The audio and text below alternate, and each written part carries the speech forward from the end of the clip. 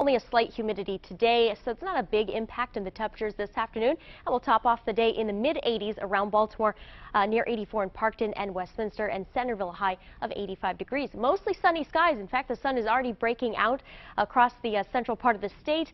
We do have a frontal boundary stalled out right over the lower eastern shore, and this will be enough to add a little bit of instability today.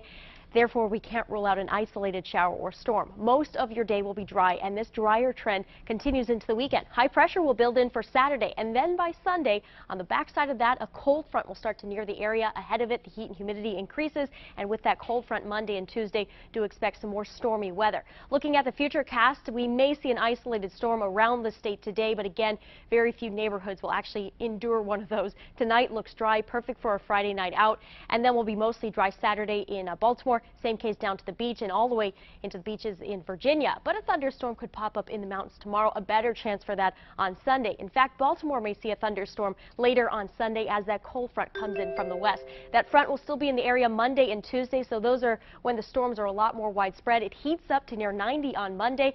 Well, look at the big drop in temperatures behind the front. 70s for the highs. That's what we're forecasting Monday or by Wednesday and Thursday.